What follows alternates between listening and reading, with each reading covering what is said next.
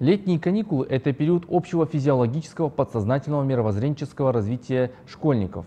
Кроме того, это период укрепления здоровья и оздоровления детей. Поэтому важно серьезно отнестись к вопросу эффективной организации летнего отдыха школьников и безопасности детей в период летних каникул. На территории Жамбылской области имеется 11 загородных летних детских оздоровительных лагерей. Из них 4 государственных, 2 переданных доверительное управление частных юридических лиц и 5 частных оздоровительных лагерей.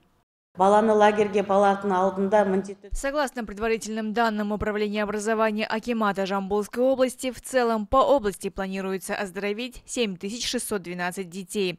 На базе общеобразовательных школ Жамбулской области будут функционировать 431 пришкольные площадки без питания и 391 пришкольный лагерь с питанием. За летний сезон планируется оздоровить 107 750 учащихся на предшкольных площадках и 33 277 в пришкольных лагерях. Спикер также советует узнать больше информации о выбранной детской оздоровительной организации, поговорить с родителями, дети которых отдыхали в этом лагере, узнать о кадрах педагогов, вожатых, где они проходили учебу, имеют ли они опыт работы с детьми.